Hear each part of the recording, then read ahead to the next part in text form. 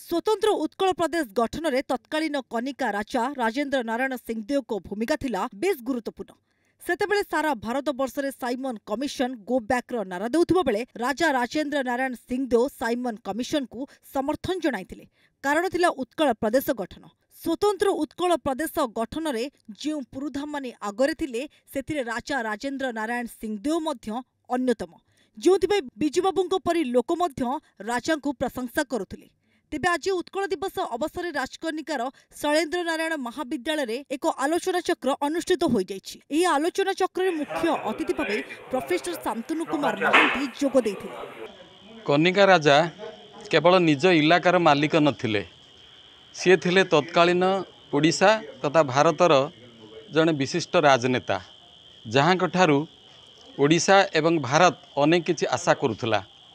ସ୍ୱତନ୍ତ୍ର ଉତ୍କଳ ପ୍ରଦେଶ ଗଠନରେ କନିକା ରାଜାଙ୍କର ଅବଦାନ ଅତ୍ୟନ୍ତ ଗୁରୁତ୍ୱପୂର୍ଣ୍ଣ ଏବଂ ଅତ୍ୟନ୍ତ ମହତ୍ତ୍ୱପୂର୍ଣ୍ଣ ଏକଥା ମହତାବ ଏବଂ ବିଜୁବାବୁ ଭଳି ନେତାମାନେ ସ୍ୱୀକାର କରିଯାଇଛନ୍ତି ମୁକ୍ତ କଣ୍ଠରେ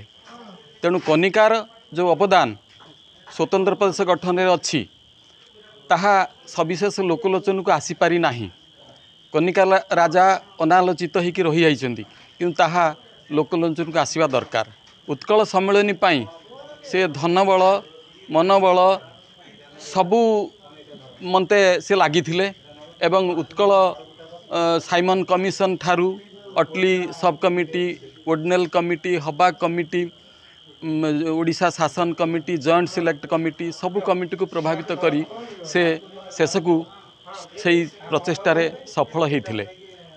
ଆଳିରୁ ବିକାଶ ନାୟକଙ୍କ report news eight